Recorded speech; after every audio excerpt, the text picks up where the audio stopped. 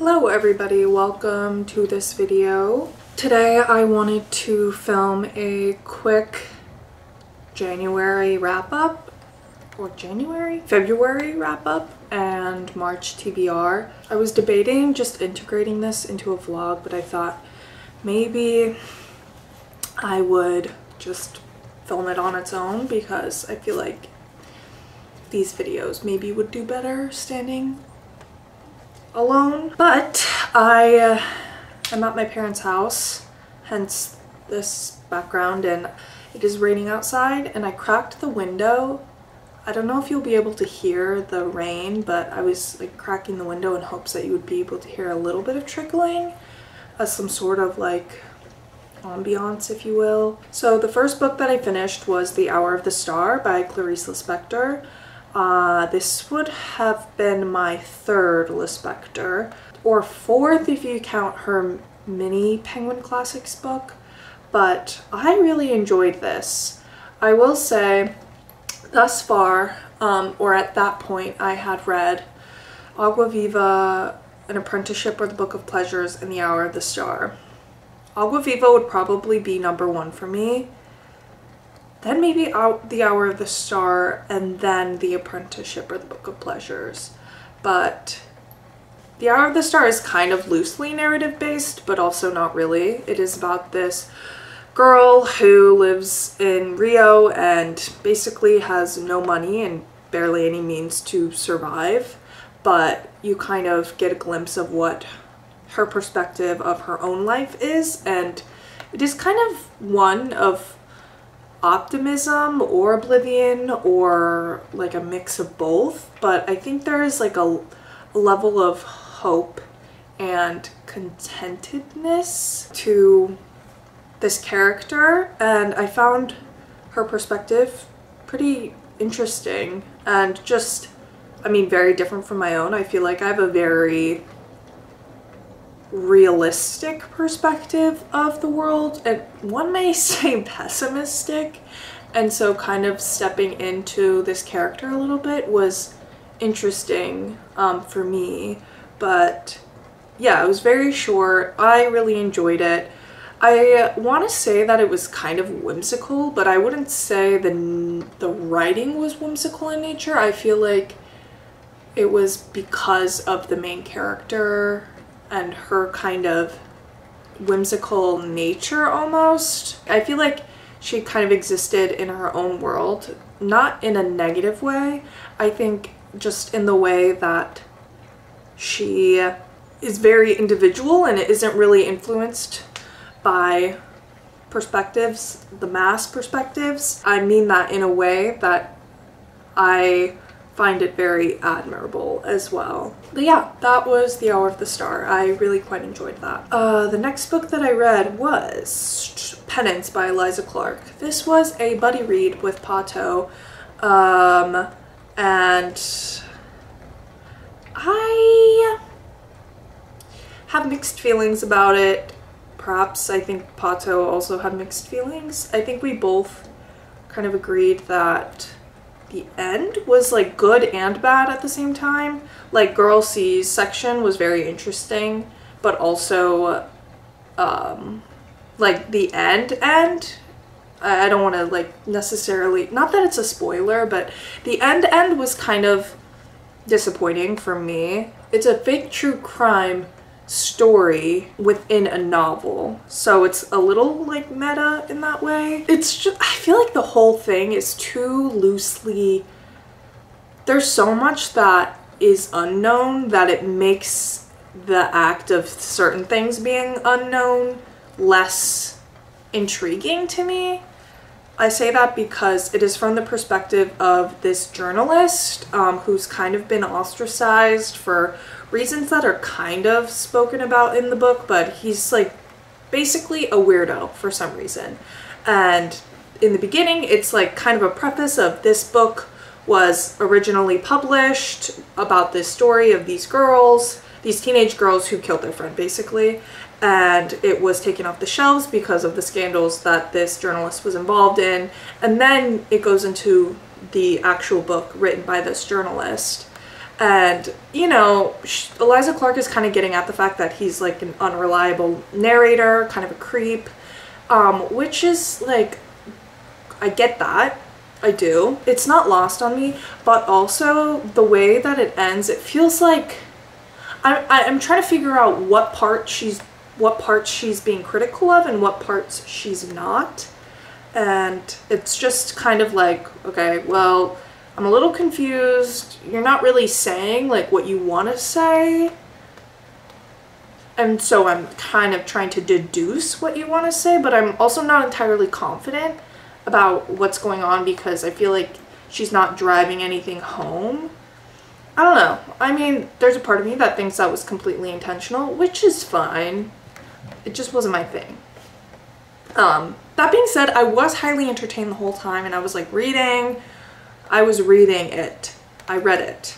But, you know, walking away from the experience and if I would be quick to recommend it to people, I probably would say no. I would recommend Boy Parts over this five times over, but that's just my personal preference. Um, I really, really enjoyed Boy Parts, and so I was really excited for this. I was kind of let down, but oh well, I suppose. The next book was The End of Loneliness by Benedict Wells. This was a book that surprised me. I bought this on a whim a couple months ago and it was sitting on my TBR and I just had the sudden urge to read it. I didn't really know what it was about, but it is effectively about this boy and he loses his parents in an accident in his early childhood.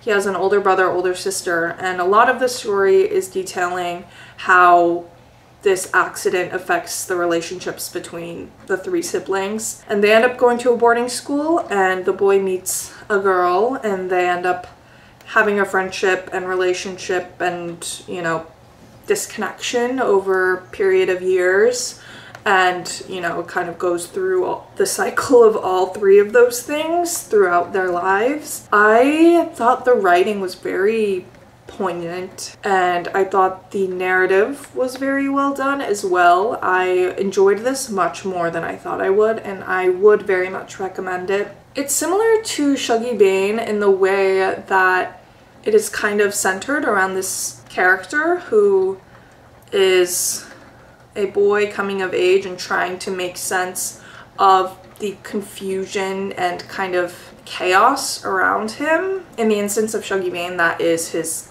kind of dysfunctional family unit. And in The End of Loneliness, I would say it's similar, but for different circumstances. Um, but I would say the two books vary in the sense that The End of Loneliness, there's a lot more interiority, I feel like. And so you really get to know the perspective of this main character. I found that I really connected to that. Um, and yeah, I really enjoyed it. Would definitely recommend. It's one of those emotional reads that feels kind of good. I just realized that I actually went out of order, I think. I'm trying to figure out what I actually read in February because I think I like got the thing, the order wrong. Okay, so let me go back to books that I actually also had finished in February that I completely forgot. The actual first book that I finished in February was Swimming in the Dark by Tomasz Jedrowski. This was also a surprising love for me um, in the same vein of The End of Loneliness. I really liked this. I listened to it on audiobook. It is about this queer boy slash man in his like kind of coming of age in that sense, living in communist Poland. And this boy meets another boy at this camp and they end up having a relationship and the two of them have completely different perspectives to the political regime that is taking place in Poland and different aspirations and uh, different levels of willingness to kind of abide by the structures that are forced upon them. And so there is that dichotomy between the two and, you know, through that kind of a discussion of what it means to conform or rebel. And so that was an aspect of this novel that I really enjoyed. There is kind of the discussion of queerness within that realm as well so yeah, I really liked this. I thought the writing was very good as well, or I should say I I really liked the writing and I connected to the writing in the book and would definitely recommend. It's a pretty quick read. I listened to it on audiobook. Maybe I said that already, I don't remember. But yeah, I had heard good things about it and I don't know why. You know, I'm just like one of like unfortunately sometimes I'm one of those contrarian people that like will not do something if everybody is like saying I should do it. And it's not because I think those people are wrong. I have the full belief that those people are right, but there's something about doing the thing that people are like saying I should do that is just so difficult for me and I'm sure a lot of people in some way relate to that but and then the actual second book that I finished reading in February was I Await the Devil's Coming by Mary MacLane. I found the beginning of this very interesting. It's kind of like journal entries um, and there are bits that I found very stunning as far as the writing goes but it was kind of one note to me. And, you know, it's a diary, so I can't really expect much necessarily, but I I liked it. There's kind of also like a homoerotic friendship slash lust slash just inherent queerness to this book, if you will, which I found like kind of a compelling perspective as this is as Mary MacLane is somebody who grew up in the early 1900s in rural Montana. So it's just not really something that I come across very often as far as different perspectives go. So I thought that was good. I don't know. The prose was good. Her writing was good. And the perspective was also good, but also I found Mary MacLane just to be a little redundant, like she kept saying that she was a genius, which is fine. Like I, I don't have a problem with her like claiming that she is a genius. But she just kept saying it over and over and over again. And there's I guess there's a difference between writing for an audience and writing in a journal for oneself but I was just kind of like, okay, like I get that. Like I've received that. That is how you feel about yourself and I, I don't disagree. Like I'm not I'm not necessarily in the place to have an opinion about that. But I just was like, okay girl, like I love that. I really do. And what else? It was just the fact that like that's what she was saying when she had she could have been saying other things. I think that's what bothered me. And so the last bits of it. I was just kind of reading it to read it because I was kind of over her. And maybe that's something that I need to like unpack on my own. And if that's the case, I will fully own that. But I don't know. I found her like kind of annoying, which uh, maybe that says something about me. I don't know. But if anybody else has read this, let me know what you think.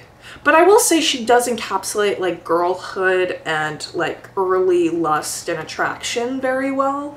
I think I just like found her specifically a little bit annoying and off-putting and so it kind of took me out a little bit. The next book that I finished was Black Skin, White Masks by Frantz Fanon. I thought this was fantastic. I mentioned that I started this in my January wrap-up and obviously I finished it in February. Um, I love the perspective of Fanon. I think I really personally resonate with Fanon's work and so I just want to get more into him um, and I definitely recommend it. I really appreciate his perspective of colonialism. I think it's also interesting in kind of figuring out how that connects to the psyche of the colonizer and the one the party that is colonized and kind of like the different psychoanalytic effects of what it means to be a black man. I'm not really like super like dialed into philosophy so if I'm misspeaking a little bit let me know. I am happy to be corrected. And the last book that I read in February was Changed by Edouard Louis. Uh, this was a book that I got through NetGalley. So I read it before it was published, but it's now published. Uh, at least the translated version is now published. Uh, but I thought this was good. I enjoyed it.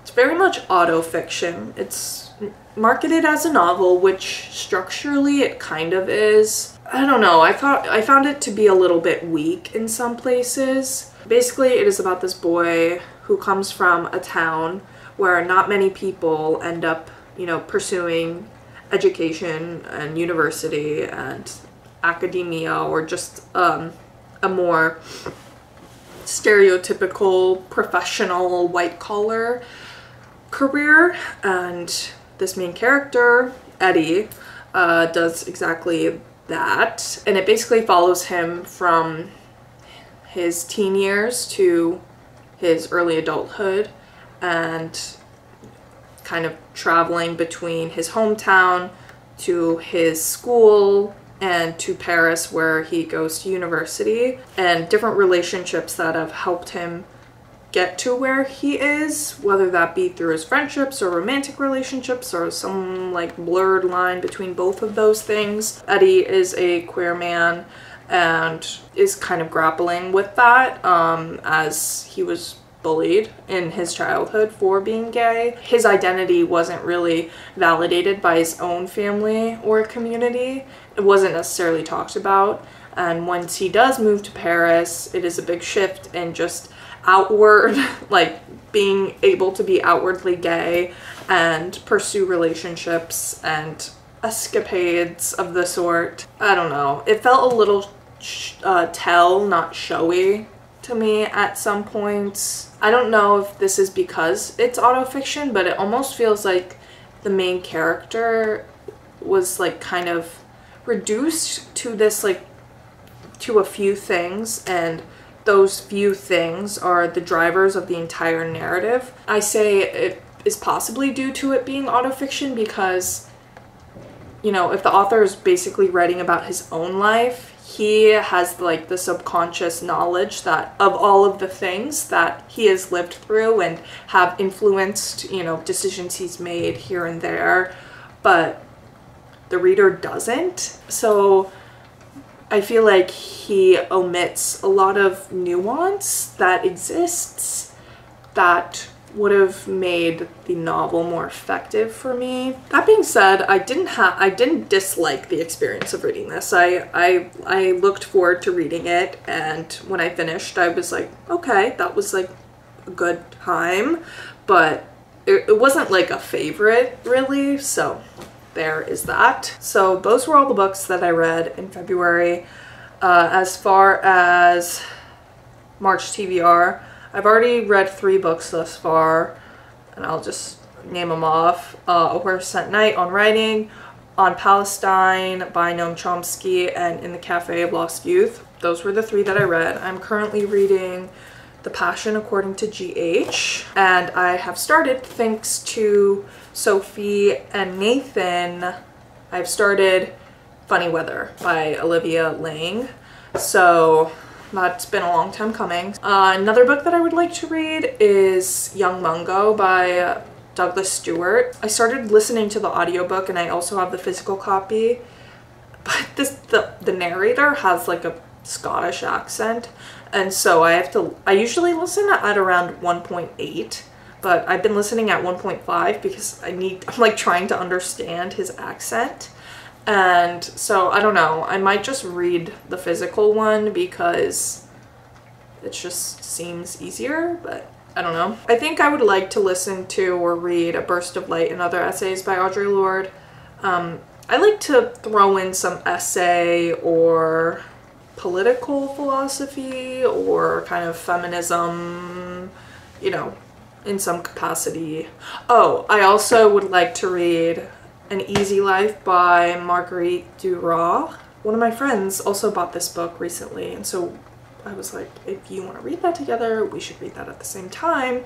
So that seems like a kind of quick read. I think that's kind of all that I have conjuring in my brain. I don't know if this is, I don't know if that's exactly what I'm going to be reading. That's kind of what I was thinking I would like to read, but I might not. So don't hold me to it that is all that I really have to say for this video. I hope you enjoyed watching and I'll see you when I see you.